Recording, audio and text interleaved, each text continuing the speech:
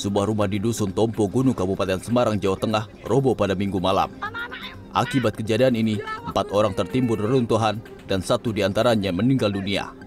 Anggota BPBD serta petugas damkar yang dibantu para relawan dan warga berupaya mengevakuasi para korban. Mereka lalu dibawa ke rumah sakit terdekat. Kondisi rumah tersebut memang tidak layak dan dihuni oleh seorang pemulung. Polisi masih mencari tahu penyebab pasti robohnya rumah tersebut.